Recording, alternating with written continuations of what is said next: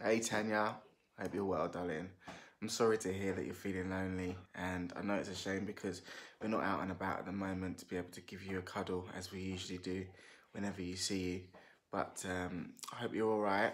I hope you're feeling well and that you're enjoying this video. Uh, can't wait to see you, give you a cuddle. Um, I still don't have that picture, you know.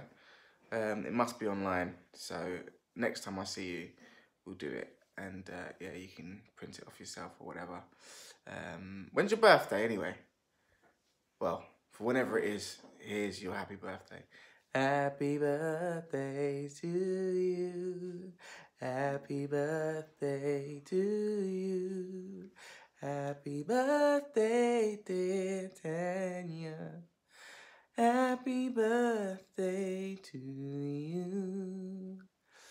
Hope you have a good birthday and we'll catch you soon. Stay safe, alright? Stay at home. Lots of love.